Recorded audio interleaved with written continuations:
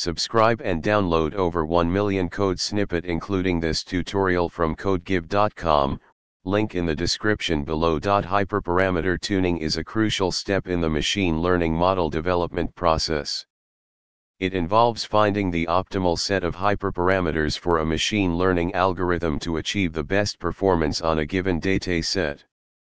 Grid search is a popular method for hyperparameter tuning that systematically searches through a predefined grid of hyperparameter values to find the best combination. In this tutorial, we'll explore how to perform grid search hyperparameter tuning using Python, specifically with the scikit-learn library. We'll use a simple example with the support vector machine, SVM, algorithm, but the concepts can be applied to other algorithms as well. Make sure you have the following Python libraries installed. For this tutorial, let's use the IRIS dataset, a popular dataset for classification problems. Choose the machine learning algorithm and the hyperparameters to tune.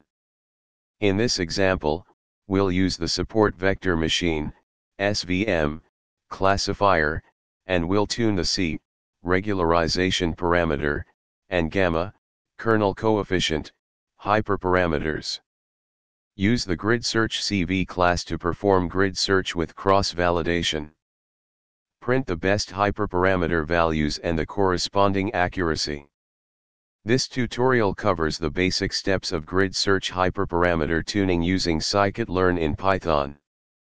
Remember that the hyperparameter grid, model, and dataset used in this example can be adapted for other machine learning algorithms and datasets. Grid search provides a systematic way to find optimal hyperparameter values, improving the performance of your machine learning models. ChatGPT Certainly. Hyperparameter tuning is a crucial aspect of machine learning model building to optimize a model's performance. Grid search is a technique used for hyperparameter tuning in which you define a grid of hyperparameters and evaluate all possible combinations of them to identify the best performing set. In Python, the grid search CV class from the sklearn library simplifies this process. Let's create a tutorial explaining how to perform grid search hyperparameter tuning in Python.